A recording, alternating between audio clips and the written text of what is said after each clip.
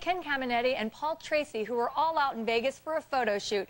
Now, not only were they debuting the new line of clothing from the godfather of motorcycles himself, Ron Simms, but also their brand new bikes. Take a look.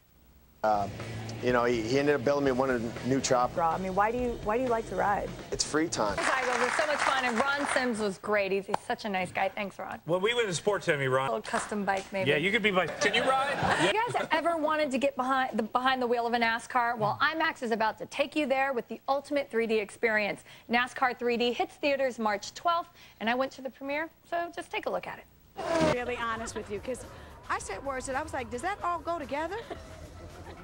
Does those three words go together, Quinn? He was like, absolutely. Now Sam. Say it and say it like you mean it.